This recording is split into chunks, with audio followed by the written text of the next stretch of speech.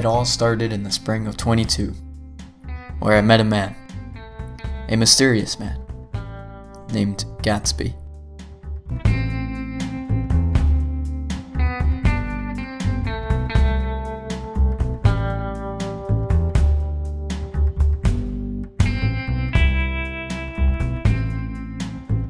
There were many rumors of who Gatsby really was.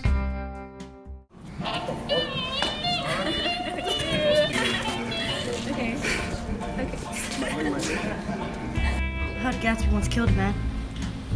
Nonsense. I already was a German spy. Gatsby was also a good friend of mine.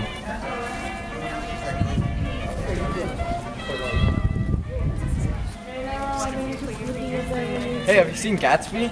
No, nobody knows Gatsby at this party. Oh, okay.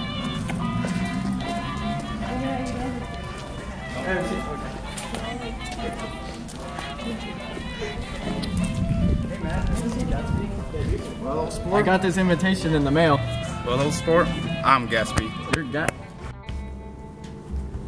Hello, sport. How you been? He had all the money in the world. Fine silk from China, Tucson,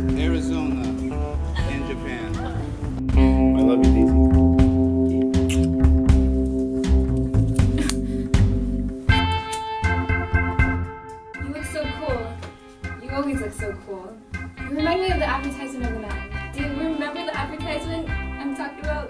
The one with that guy who looks cool. All right, Let, let's go to town. He was a man with exceptional taste.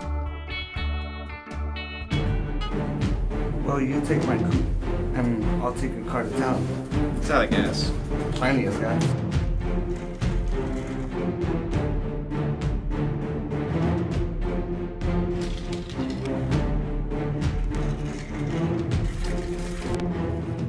Tell him, Daisy. Tell him that you never loved him. I can say that I never did. I loved him, but I loved you too. Hello, Tom. Oh, hello. I'm selling my car if you're interested in buying it so I could leave town and take Myrtle with me. Oh, is that true? Yes. Okay. Oh, hi, Tom. Hello. I heard you were leaving with Wilson. What? Not leaving anywhere. Yeah, he, he came and told me I wanted to buy his car so he could go with you. Tom, please. You can't buy his car. I don't want to go. But I kind of need the car. And I want to stay here with you.